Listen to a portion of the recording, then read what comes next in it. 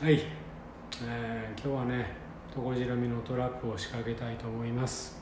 はい。行くで。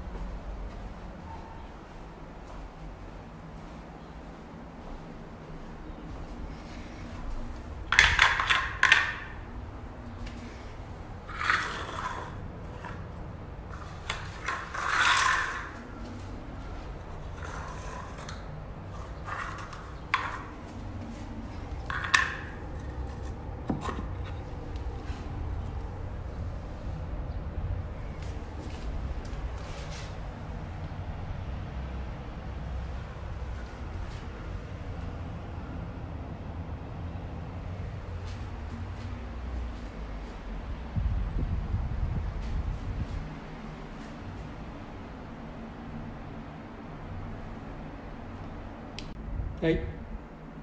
トラップですね。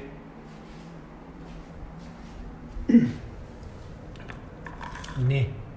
あの先ほど言いましたトラップですけどもこの白いのこの中身が、えーフェロモン。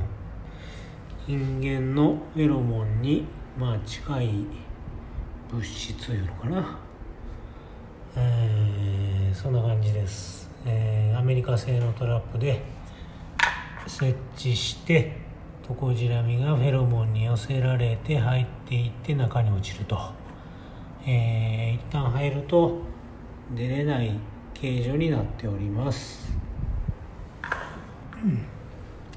ただねまあそこまで精度は良くないのかなとは思ってます。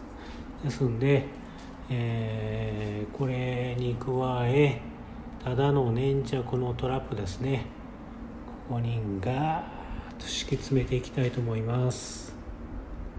はい。こんな感じです。